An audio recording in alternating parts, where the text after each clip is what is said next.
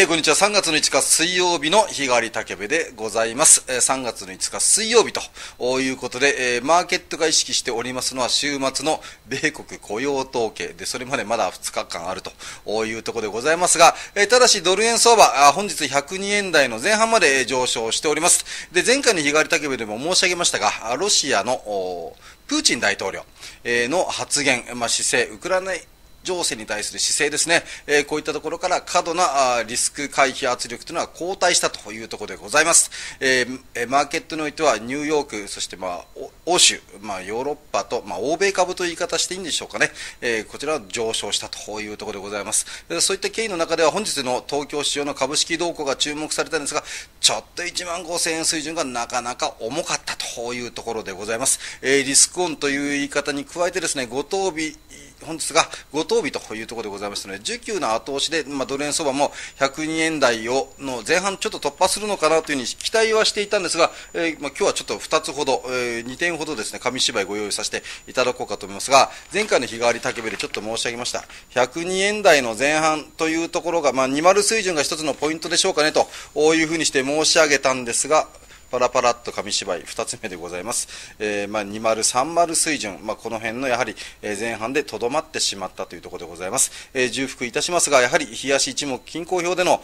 雲の加減、もしくは20日、20日の、20日同じですね。20日、25日の移動平均線、えー、こういったものが上進性を圧迫しているというような見方で見ております。で、加えてでございますが、えー、こちらの方はちょっとこういった資料を、改めて確認していただければと思います。先ほど申し上げました1万5000円水準を期待していたんでございますが、えー、ドル円相場あ、こちらの方には牽引されなかったというところでございます。えー、根拠としてはこの相関係数が0.834と、834というような数字が出ている流れの中で、日経平均株価1万5000円水準を大きく超えることができなかったというところでございます。で、えー、本日というか、ちょっと今日のですね、えー、大小大阪証券取引所のオプションのえー、まあ、3月 S q これ来週ございますけども、えー、ちょっとこういった取り組み高、出来高がありましたちょっとご案内させていただこうかと思います。ちょっと証券会社の竹部チックなところでございますが、ちょっとこれをご覧になっていただければと思いますが、こちらの方がプット、こちらの方がコールなんですね。3月切りのところなんですが、15,500円、こっちかな。15,500円の出来高というのが、コールの出来高が凄まじく突出してますね。えー、非常に盛り上がっております。そして一方で今度はプットの方なんですですけども、1万4000円の水準というのがやはり4000枚を超えるような形でかなり出来高が突出しております。まあ、ここ最近のですね、こういったリスクオン、リスクオフ、まあ、特にウクライナ情勢というの動きの流れの中では、おそらくでございますが、権利行使価格の高いコール、そして低いプット、まあ、これ同数枚持って、えー、まあ、こういったところではボラタイルな動きを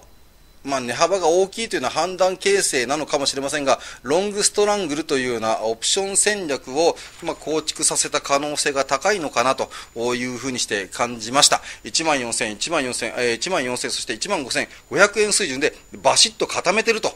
いうところかもしれません。でそういったところでは、ドル円相場においてはリスクオンを、まあ、株式市場の動きから流れに乗ってというようなところも期待したいところなんですが、なかなか身動きも取れないねというのが日経平均株価の動向からもちょっと測られるところでございます。えー、そこで今回でございますが、こちらのタイトルでご案内させていただこうかと思います。はい。日経225戦略でドル円を読むと。いつもですとね、ドル円のチャートでというようなところでございますが、ちょっとドル円戦略を構築する上で、日経225の上下限をちょっと改めてでございますが、あらがら、ざっくりとで結構でございますので、ぜひご確認をしていただければと思います。先ほど申し上げました大枠14,000円、そして15,500円というところは、えー、赤枠のところで書かせていただきましたが、現状は14,400円から15,000円水準と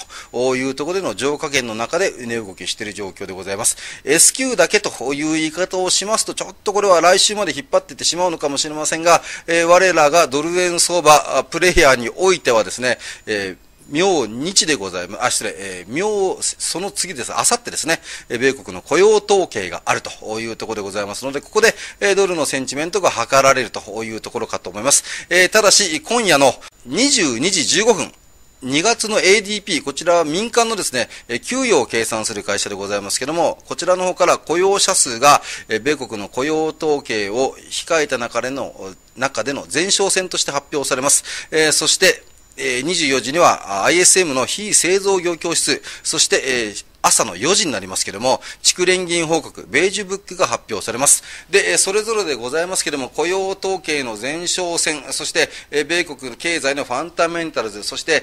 最後、ベージュブック、米国の蓄連銀報告においては、寒波豪雪の影響がどういった形で各蓄連銀から報告されてくるのか、そういった意味では、これも全部ひっくるめた上で、週末の雇用統計に向けての、まあ、一つのベンチマークになるというふうにして考えております。まあ、日経平均株価の動向も非常に重要ではございますが、まあ、私も言っていて非常に矛盾するかもしれません。まあ、注目するものが1つ増えたというふうにして思っていただければ結構なんでございますが、リスク管理に重きを置くという観点の中では、日経平均株価の動き、そして改めてでございますが、ドルのセンチメント、ドルがどういった動きをするのか、えこちらの方もですね、え米国の雇用統計というイベントを控えている前にですね、改めて再確認していただいて、リスク管理の方をご留意していただければと思います。以上、3月の5日水曜日の日替わり竹部でございました。